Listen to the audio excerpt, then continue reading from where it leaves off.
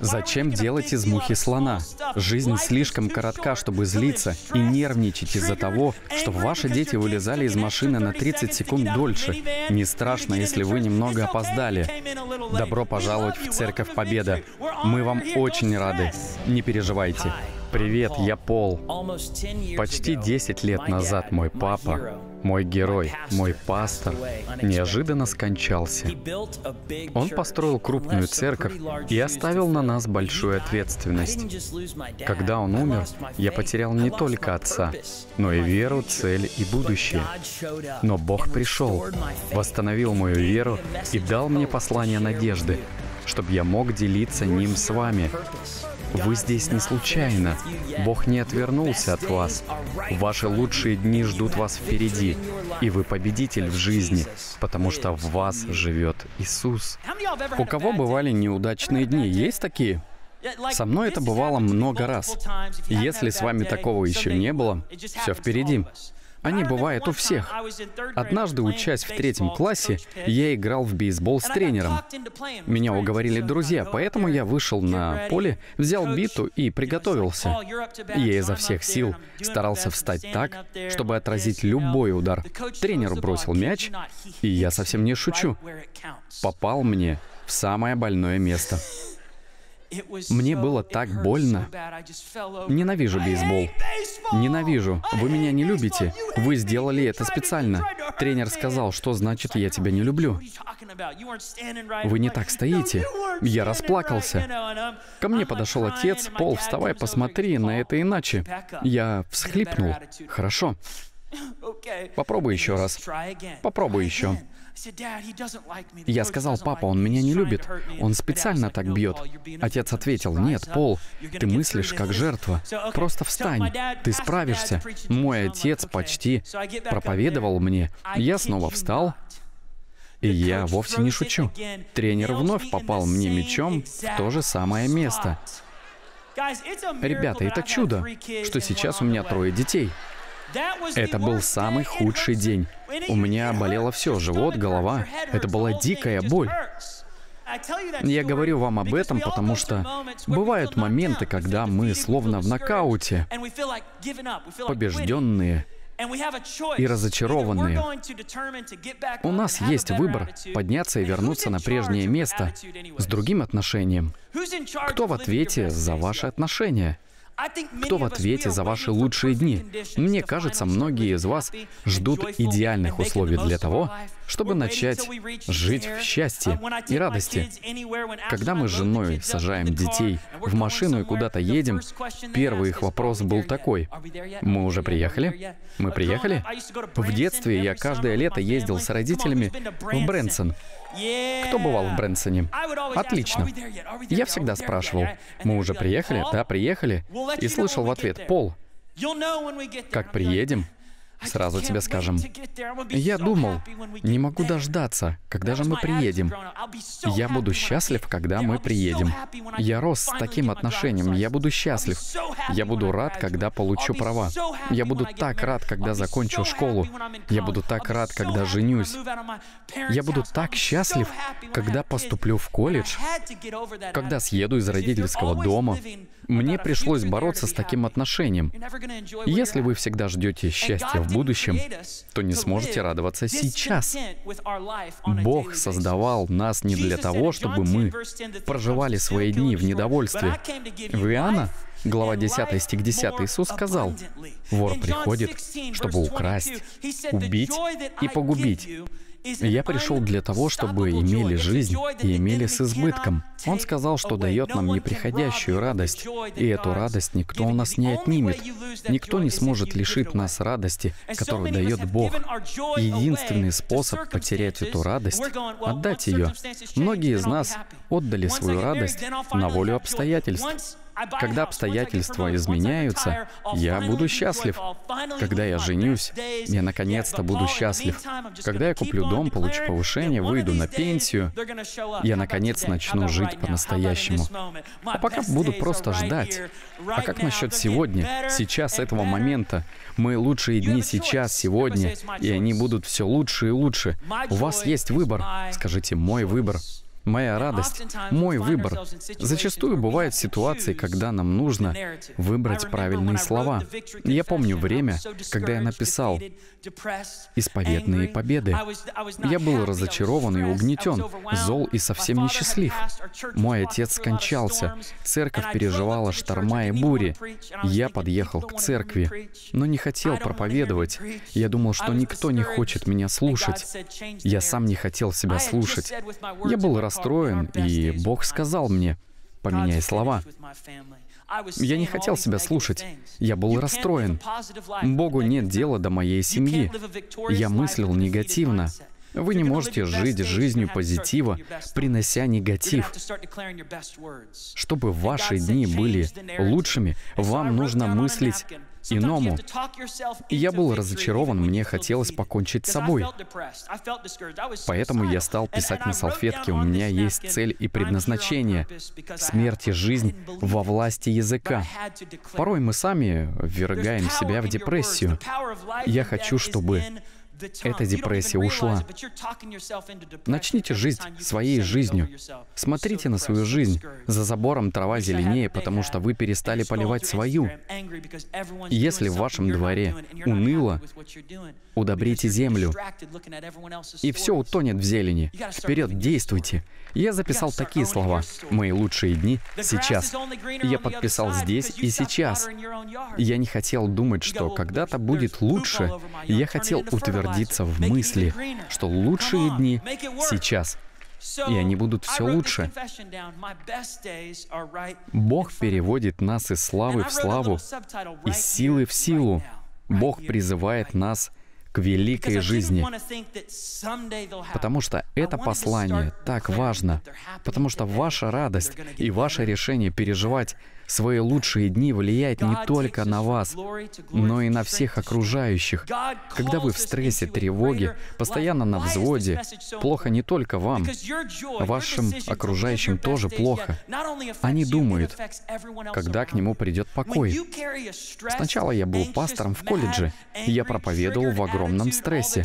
Однажды ко мне подошла женщина, и она сказала, как дела?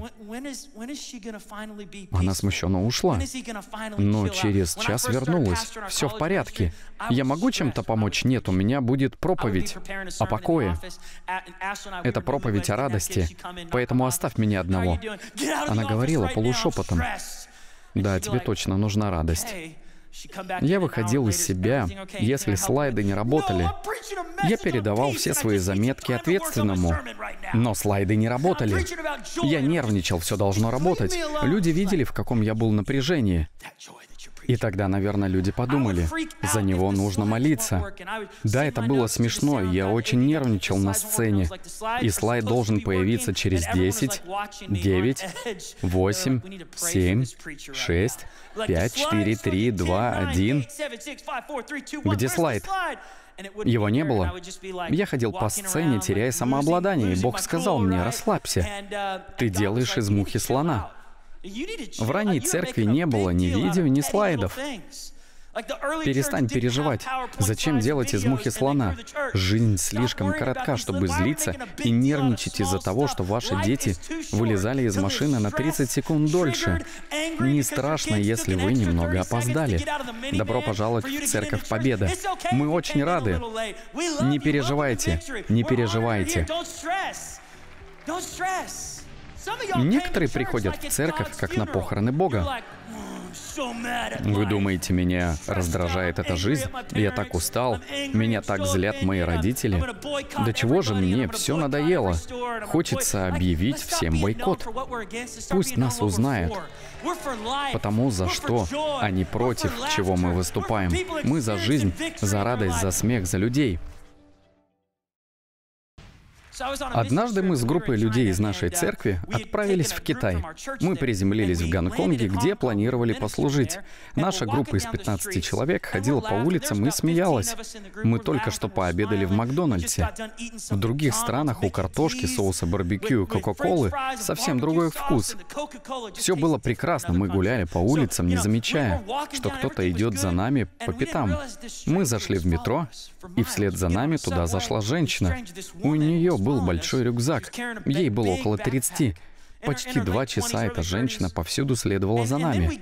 Стало очевидно, что это не случайность. Она действительно идет за нами. Наконец-то мы решили завязать разговор. «Как у вас дела?» Она ответила, «Хорошо, просто я смущена». Мы спросили, «У вас что-то случилось?» Она ответила, «Кто вы, ребята?» Я удивился, что значит «Кто вы?» Она сказала, вы какие-то не такие. Не как все. Откуда вы? Я сказал, что мы из Талсы, в штате Оклахома, Церковь Победа. Она спросила, церковь? Какая религиозная организация? Мы христиане. Она сказала, нет. Не может быть, вы не христиане. Я сказал, мы христиане. Я никогда не видела таких христиан. Почему я об этом говорю? Потому что церкви нужно осознать, на нее смотрит мир. Если мы ходим злые, больные, подавленные, раздавленные, а потом проповедуем, что Иисус дает нам жизнь, победу, мир думает, а когда Он даст вам смех? Вам нужно быть в радости, потому что миру нужна живая церковь. Я говорю не о притворном счастье, нет.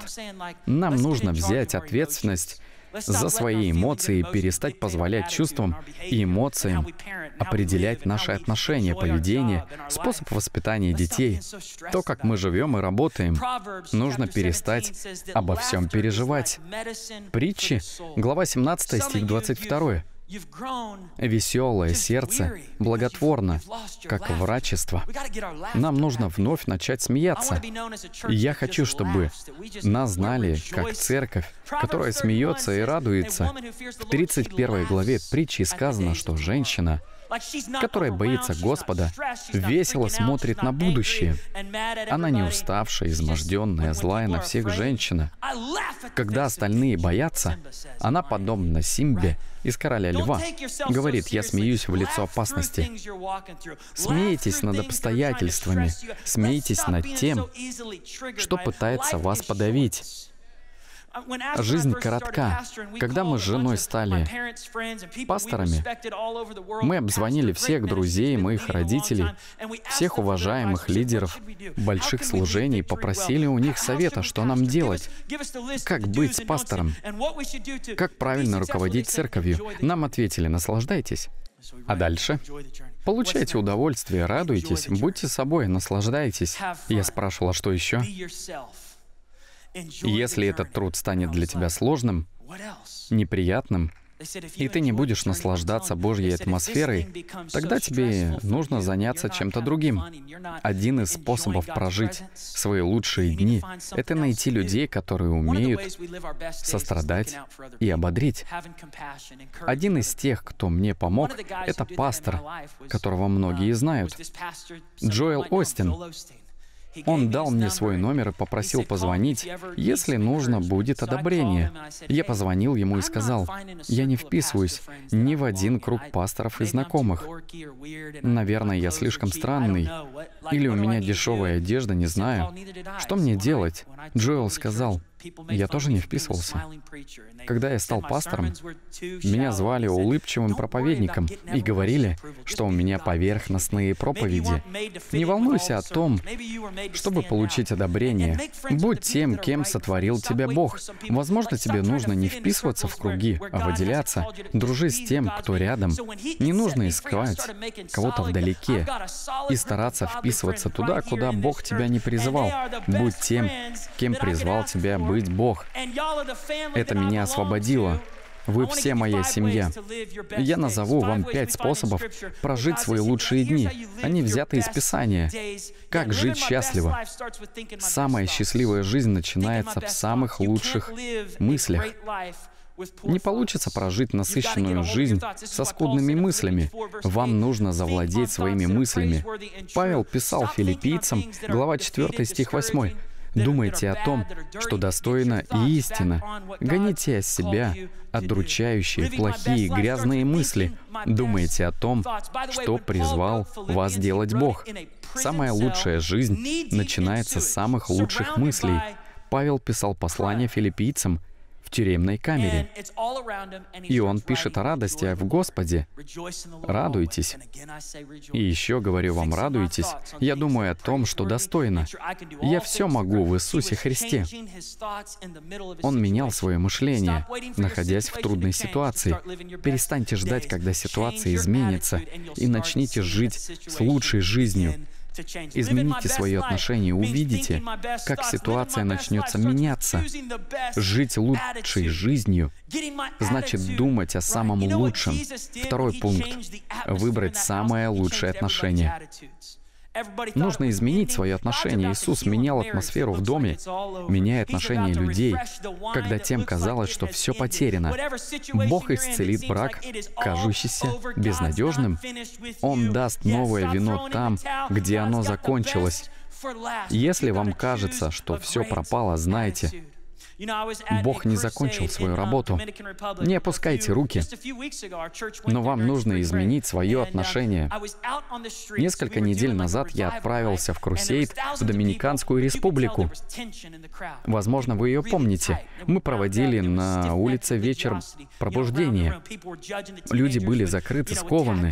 Я не понимал, что происходит, и решил, что нам нужно разрушить дух религиозности. Нужно пригласить Иисуса, чтобы Он исцелил сердца и умы людей. Я знал, что Бог хочет сделать что-то чудесное. Я подошел к своему другу. Джошуа, выйди, пожалуйста. Где он? Выйдите, пожалуйста. Я попросил его помочь. Этот парень отлично танцует. я сказал, нам нужно выйти, чтобы люди расслабились. У нас есть музыкальный трек. Мэтт, включи его, пожалуйста.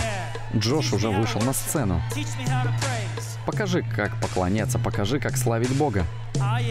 Когда Джош начал танцевать, люди расслабились и тоже начали танцевать. Атмосфера начала меняться.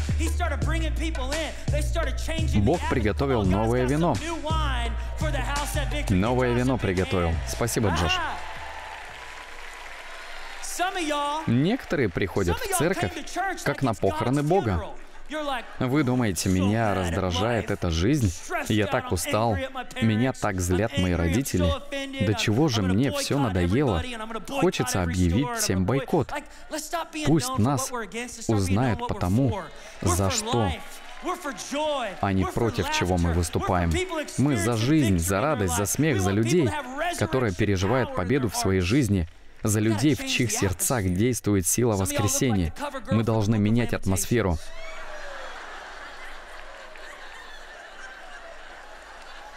Кто-то из вас словно сошел с обложки. Свобода ограничений. Сегодня нужно изгнать этих бесов. Я шучу. Вы самая чудесная церковь. Я о других людях. Нам нужна свобода. Нужно разрешить дух религии в Талсе. Дух Святой хочет сотворить здесь что-то новое. Иисус хочет принести нам новое вино. Праздник еще даже не начался. Бог хочет совершить что-то великое. Нам нужно разрушить дух бездумной, соревновательной зависти. Когда Господь пришел на землю, больше всего его осуждали фарисеи, книжники, злодукеи, плохие, вечно недовольные люди. Иисус пытался объяснить им, что все в порядке. Они злились, что Иисус постоянно пировал и общался с грешниками. Он был другим. Он был полон радости. Он вытаскивал людей из бедности, тьмы, греха и давал людям благодать. Второй и третий шанс. Мы тоже часть Его служения. Но нам нужно поменять свое отношение, потому что миру нужна церковь, полная радости, надежды, сострадания, милости и мира. Мои лучшие дни начинаются с построения лучших взаимоотношений. Вы просто не можете без обещания. Бог показал мне это, когда я боролся с депрессией. Я был злым, думал о безумных вещах, и Бог сказал мне, тебе нужно общение, нужно построить крепкие, благочестивые отношения в церкви. Не ждите, что все кинутся решать ваши проблемы. Бог хочет, чтобы вы были открыты и окружали себя благочестивыми людьми.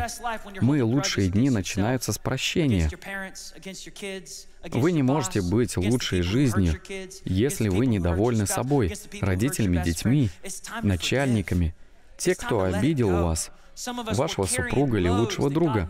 Иисус сказал, «Возложите все заботы на Меня, иго мое благо, и бремя мое легко.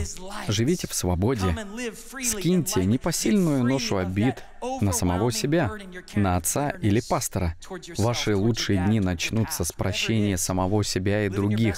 Вы не можете двигаться вперед, если всю жизнь смотрите в зеркало заднего вида.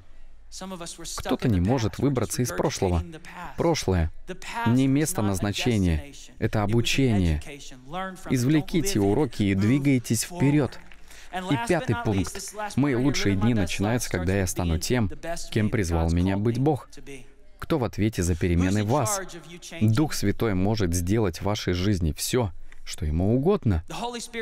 Смириться — это ваша задача, ваш выбор. Вам нужно перестать искать себе оправдания каждый день, когда вы грешите и делаете то, чего не должны делать. Давайте не будем позволять себе вести неугодную Богу жизнь. Давайте поднимемся над этим. Бог призвал вас жить в победе, а не в поражении. Бог призвал вас жить в победе над ситуациями, которые вас угнетают. Иаков писал, «Радуйтесь, когда впадаете в искушение, потому что Бог формирует ваш характер и развивает вас в терпении». Я не утверждаю, что жизнь будет легкой и идеальной. Я говорю, что несмотря на обстоятельства, вам нужно изменить отношения, изменить свои мысли, слова, наладить общение и стать тем, кем призвал быть вас Бог.